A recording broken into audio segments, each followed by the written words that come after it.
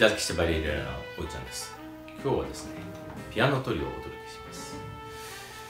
今日お届けするレコーダーこちらになります。ジャズ・アッツァ・ブルーノート主人公ですね。モーリス・バンデーこの人ですね。フランス人です。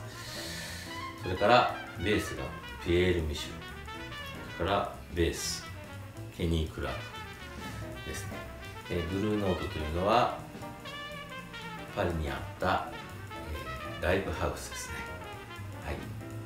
それで今日お届けするのはこの中からザ・ニアネ・ソーブユというコーギーカマイケルが作った曲ですね、えー、ザ・ニアネ・ソーブユいろんな人が演奏したり歌っておりますけれどもそうですね。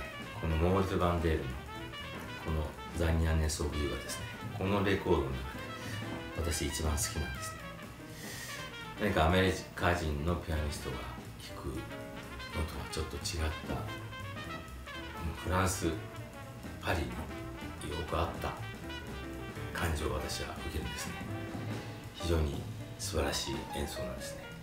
はい。モルテ・バンデルは、まあ、フランスを代表する、まあ、ヨーロッパを代表するピアニストですね。はい。ではザ・ニアネス・オブ・ユお届けします。お待ちください。